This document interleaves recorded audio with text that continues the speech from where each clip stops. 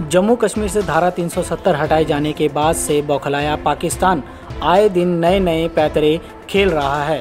पाक प्रधानमंत्री इमरान खान अपने भड़काऊ भाषणों में कभी पाक जनता को भड़का रहे हैं, कभी भारतीय उत्पादों को लेने से मना करते हैं, कभी मीडिया में भारत पर परमाणु अटैक करने की गिदड़ भक्कियाँ दे रहे हैं। वहीं आज विशाखापट्टनम में हो रहे कार्यक्रम में भारत के उपराष्ट्रपति एम वेंकैया नायडू ने पाकिस्तान को ललकारते हुए कहा कि भारत ने कभी किसी देश पर हमला नहीं किया। सभी टॉम, डिक और हैरी ने आकर हम पर हमला किया।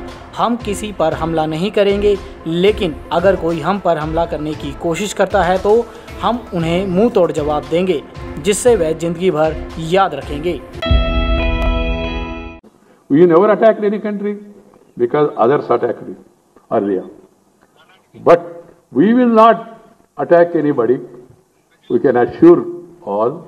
But if anybody try to attack the- us, we will give them a fitting reply which they cannot forget in their lifetime.